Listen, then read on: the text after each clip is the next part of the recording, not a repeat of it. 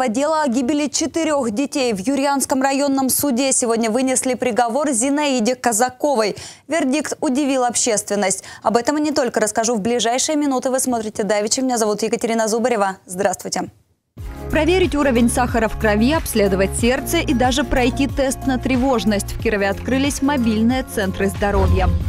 Пьешь – отдай машину государству. За пьяное ДТП предложили конфисковывать машины. С инициативой выступили депутаты Башкирии. Действенная ли мера? Спросим у экспертов.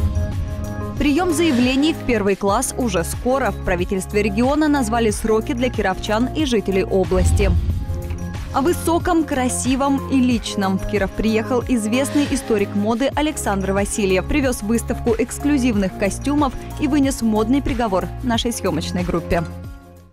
В Юрианском районном суде сегодня огласили приговор по резонансному делу о гибели четырех детей. Трагедия произошла в деревне Лашкари 30 октября прошлого года.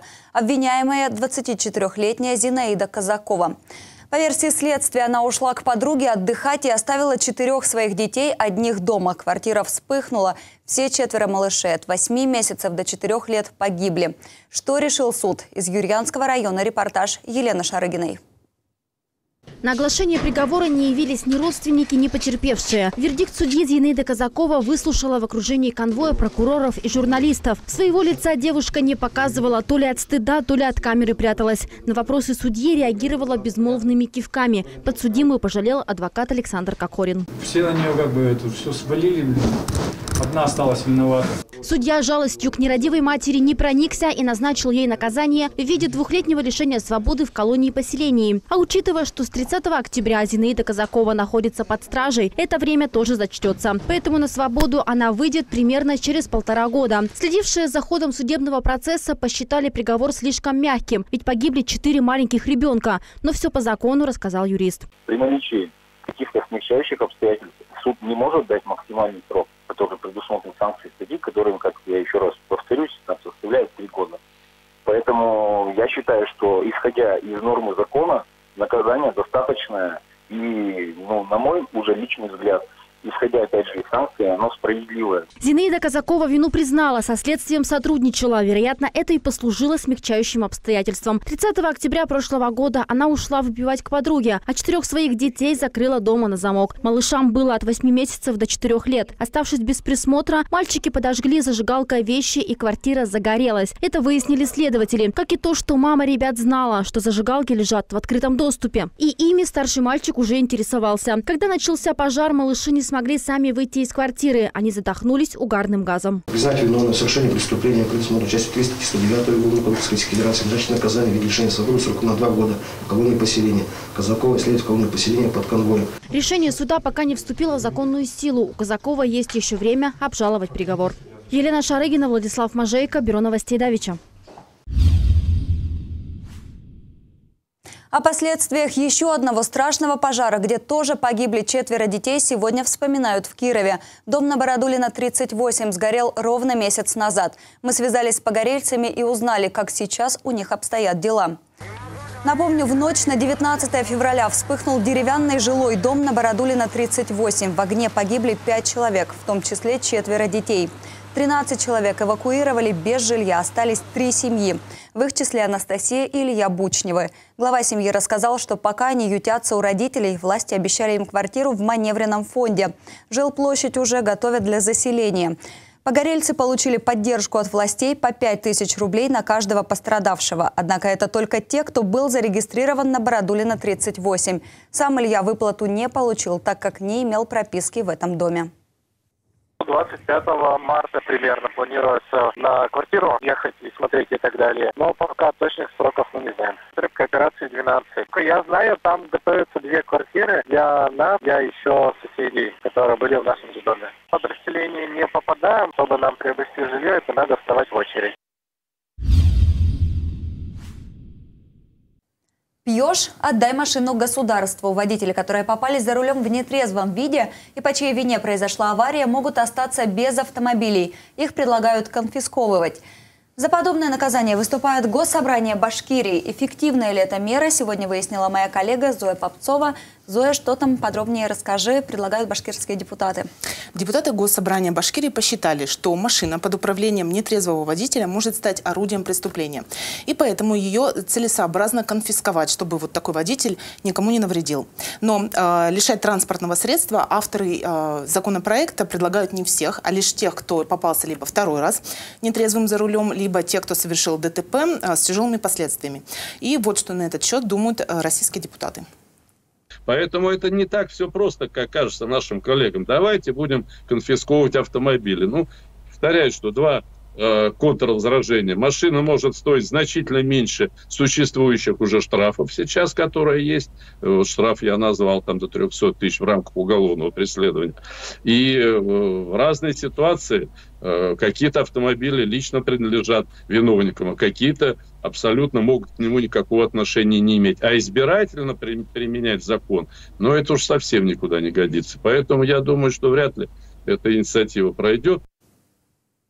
Тут же авторы законопроекта и приводят статистику ГИБДД за прошлый год. Получается, что каждая десятая авария в России происходит с участием пьяного водителя. При этом растет и увеличение количества пьяных ДТП с погибшими детьми. Зоя, ну каждый, после каждых выходных нам приходят пресс-релизы о том, что у нас э, происходят какие-то, ловят пьяных водителей постоянно. Что со статистикой в Кировской области? В Кировской области э, за этот год уже поймали 826 водителей, э, которые были с признаками алкогольного опьянения, причем 160 из них отказались от метасвидетельствования. За прошедшие два месяца уже произошло 22 ДТП с пьяными водителями, 5 человек погибли и 27 получили травмы. За аналогичный период прошлого года были выявлены 959 водителей с признаками опьянения. Из них 672 управляли транспортом в состоянии опьянения, 200 отказались от экспертизы и 87 повторно сели за руль с признаками опьянения. Но получается, что статистика улучшается. Да, можно сказать, стати статистика радует. Но активисты Кировской общественной организации «Ночной патруль» говорят, что есть и те, кто попросту не попал в эту статистику. Например, им на горячую линию поступил звонок, а в это время пьяный водитель уже успел доехать до дома. К тому же, как считают активисты ночного патруля, возможный будущий закон может вызвать волну погонь за автовладельцами. Сергей Пичугин, активист ночного патруля, с новой инициативой не совсем согласен. Пусть отбирают машины, да, у тех, кто повторно попался, но те, кто попал в ДТП и машину свою разбил, то какой смысл у нее ее забирать? Я скептически отношусь к этой идее. А, это не совсем действенно. Еще раз, а, уровень жизни населения страны нужно поднимать и э, повышать качество образования ну, на всех этапах, уровнях и так далее. вот это главный момент. Также, по мнению Сергея, штрафы, которые сейчас предусмотрены, оплачивают далеко не все водители. То есть, получается, автовладельцы попросту уходят от наказания. Давай послушаем, что говорят наши кировские автовладельцы по поводу нового законопроекта. С одной стороны, правильно. Но это на, не с первого раза. Это, это нормально, я думаю. Ну, не надо. Это же его имущество, он ее покупал. Как и кто ее может это, это отнять? Наверное, правильно. Ну, не надо пьяным ездить за рулем преступник сел за руль, получается. Да. А почему так считаете? Ибо нефиг, нафиг. Нечего пьяным ездить за рулем. Башкирские депутаты отметили, что подобная практика конфиска... Э, конфискации авто применяется в таких странах, как Франция, Швейцария и даже Белоруссия. И поэтому законопроект свой они внесли на рассмотрение в нашу Государственную Думу. Ну, надеюсь, наши кировские водители задумаются. Спасибо, Зоя, за материал. Мы продолжаем. А вот те, кто заботится о своем здоровье и за руль пьяным точно не сядет, могут провериться. И для этого не нужно идти в поликлинику. Достаточно прогуляться по городу. В Кирове с сегодняшнего дня начинает работать мобильный комплекс здоровья. Он появится на трех площадках в городе. Как уточнили в правительстве, все желающие в таких медцентрах смогут проверить кровь на сахар и холестерин – проходимость артерий, работу сердца.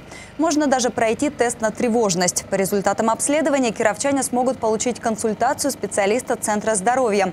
Передвижной комплекс будет работать с сегодняшнего дня и до 9 апреля в Кочеровском парке, до 26 марта на Театральной площади и до 2 апреля на площадке у областной филармонии. Себе нужно иметь паспорт, медполис и маску. О высоком, красивом и личном в Киров приехал известный историк моды Александр Васильев. Он привез выставку эксклюзивных костюмов и вынес модный приговор нашей съемочной группе. Об этом не только во второй части нашего выпуска. Не переключайтесь.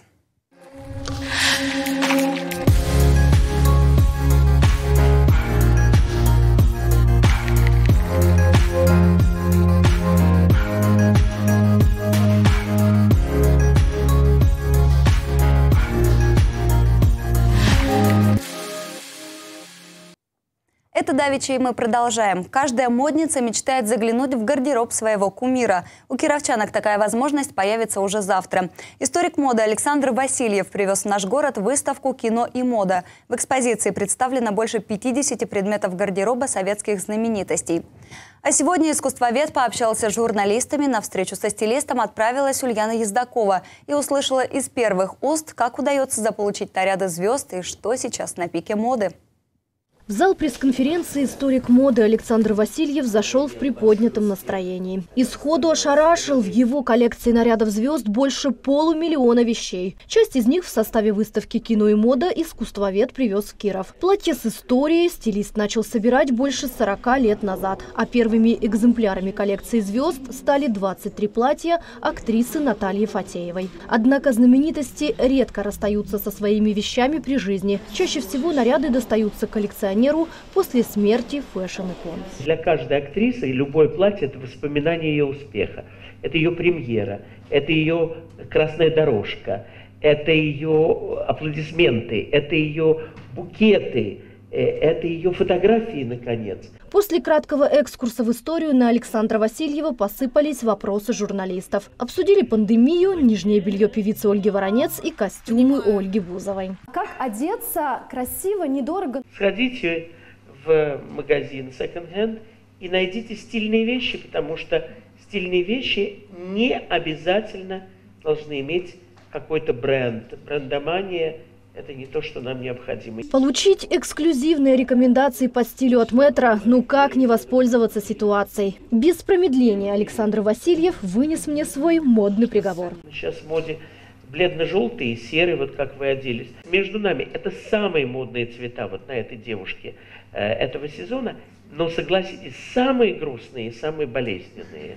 Потому что они никогда никому не могут идти, но они в тренде – так что я вас с точки зрения тренда вот так хвалю. Кстати, в числе 50 экспонатов выставки вечерние наряды современных звезд. Сати Спиваковой, Леры Кудрявцевой, Натальи Водяновой, а также сценические платья кумиров советского времени. Людмилы Гурченко, Надежды Румянцевой, Светланы Светличной. Жемчужина коллекции – алое коктейльное платье из нейлона Клары Лучко. Мэтр называет его «красная бомба». Один из экспонатов выставки – жаккардовое платье с атласной отделкой 1976 года. Было создано специально для актрисы Любови Полищук к фильму Марка Захарова «12 стульев». В нем она играла экстравагантную мадам Грицацуеву.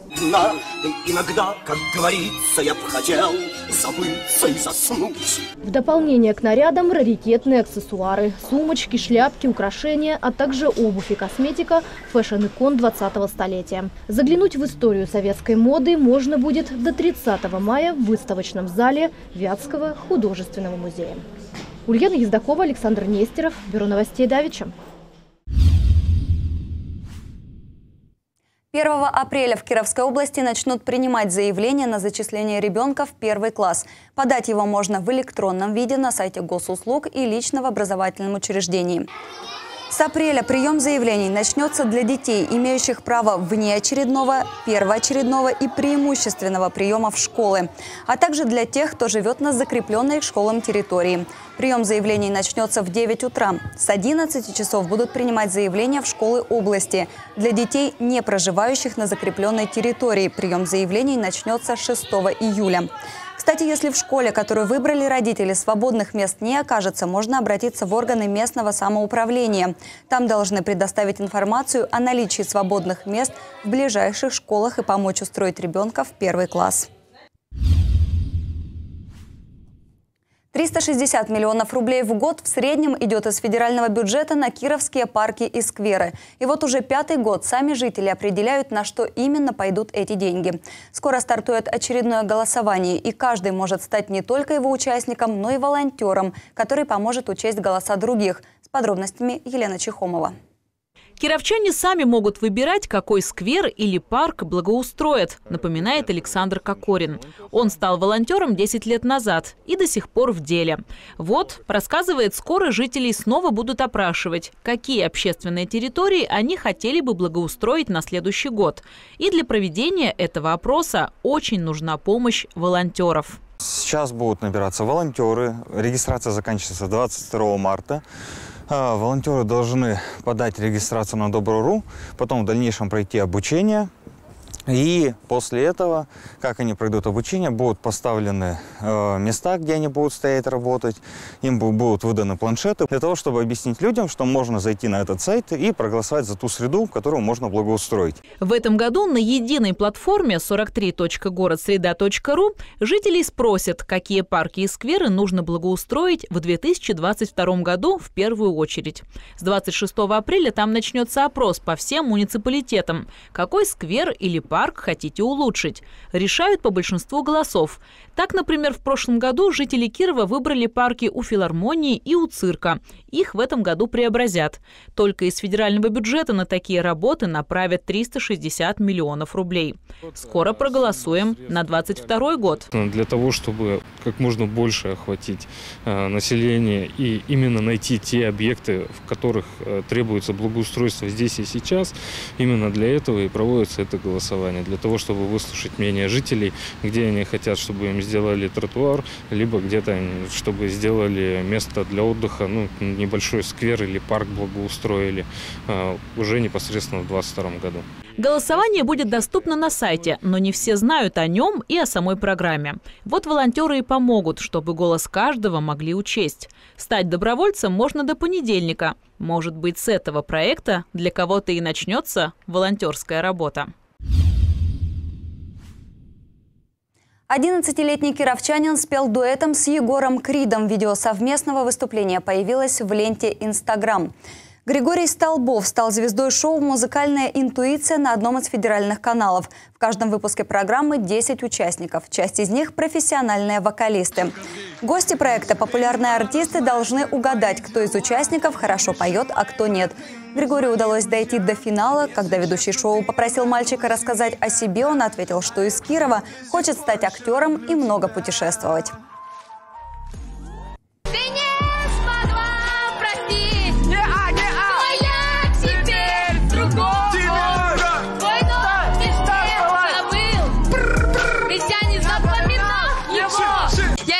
Кирова. Э, Папа продал свой бизнес, вообще все продал, все, что мог, и чтобы я переехал в Москву, и чтобы я стал звездой. Оперативно следить за новостями города и области можно также в наших социальных сетях. А если и вам есть чем поделиться с городом, присылайте ваше видео или новости по номеру телефона, который вы видите на экране.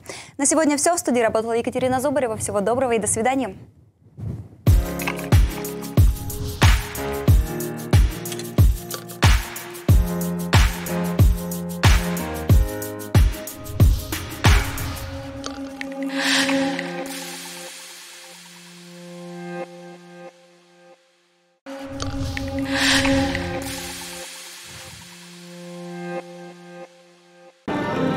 Ой, сейчас я тебя поймаю. Ой-ой-ой. Это самые настоящие эмоции маленьких горожан, как и роботы на этой выставке. Хорошая новость. По просьбе кировчан выставка роботов из трансформеров и компьютерной игры Майнкрафт продлится до 11 апреля. Здесь персонажи из любимых фильмов и мультфильмов. Взять хотя бы Вали и его коллег. А еще Оптимус Прайм и Бамблби. В общем, полный отрыв от реальности, причем в буквальном смысле. На такой установке можно полетать в виртуальном пространстве. Дети довольны и даже их мамы под впечатлением. Выставка очень крутая и хорошая. Мне очень понравилось. Мне понравилось вот железный человек. Он герой. Ну, первый раз решили вот зайти, очень понравилось. Маленькие и добрые, огромные и устрашающие, но очень любимые железные персонажи игр и фильмов ждут кировчан на первом этаже ТРЦ Джемол до 11 апреля.